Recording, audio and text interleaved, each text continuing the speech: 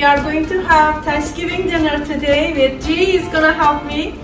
And we are gonna have wonderful turkey. It's a little bit in, inspired by Mediterranean ingredients. And I hope you are gonna like that too. And let's cook turkey together and happy Thanksgiving to you all. Happy Thanksgiving! We have all the ingredients on the table. And of course, it's like a Mediterranean breeze is gonna be in this uh, turkey dish and a lot of stuff since you know we are practicing more Mediterranean cuisine. And we are gonna have good uh, ingredients. Let's see what we are gonna I have two grated onions. I have two sticks of butter. Two generous tablespoons of basil paste. Uh, two stems of celery that's grated and the rest of a bunch of celeries are chopped for the filling. I grated the outside of a lemon zest for two lemons and very generous, maybe two generous tablespoons of pepper paste and two cloves of garlic, a cup of olive oil and three medium-sized potatoes for the stuffing.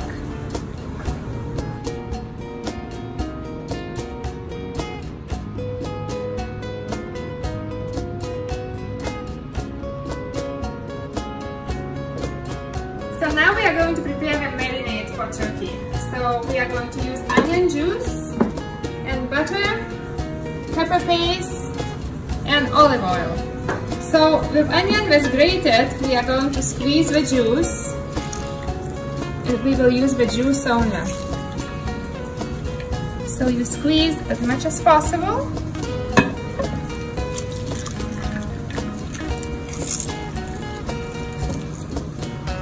I squeeze the onion and I have onion juice.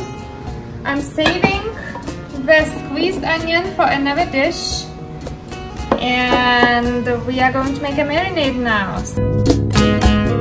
So now we are going to make marinade. I'm going to put the butter in the onion juice and put the basil paste and mix it. Also add lemon zest and celeries, chopped celeries, not chopped, grated celeries and pepper paste, garlic and olive oil.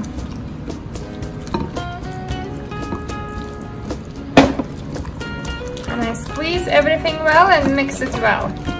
Now it's we have turkey here and it's around like uh, 19 pounds of the turkey we have.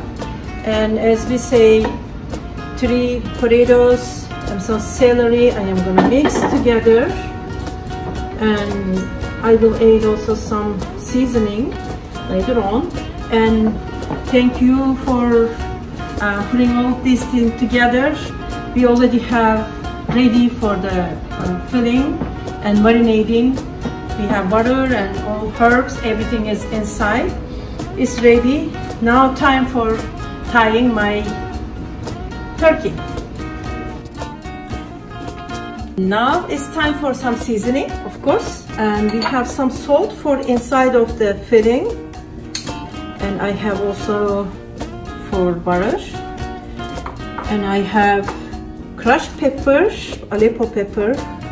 I I do half and a half, and uh, and everything is like one teaspoon, generous one. And I have the same thing for cumin. I ate cumin and black pepper for each one in and out. And final things is gonna be paprika. Half is in here and half over there and I am gonna mix them all well like that.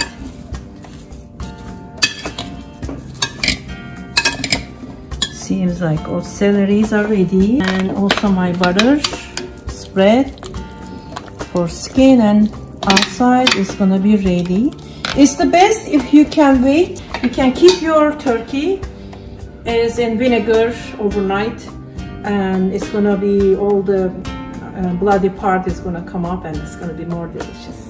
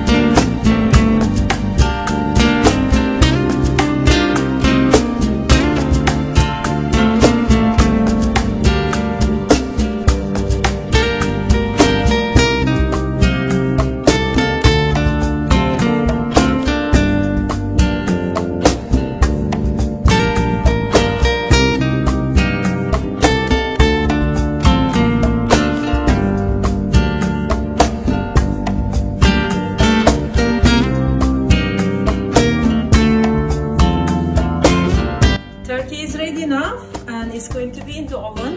You need a couple of hours to cook. And I will do like uh, 425 degrees for three hours first. If it's cooked, and I continue more. And now it seems ready.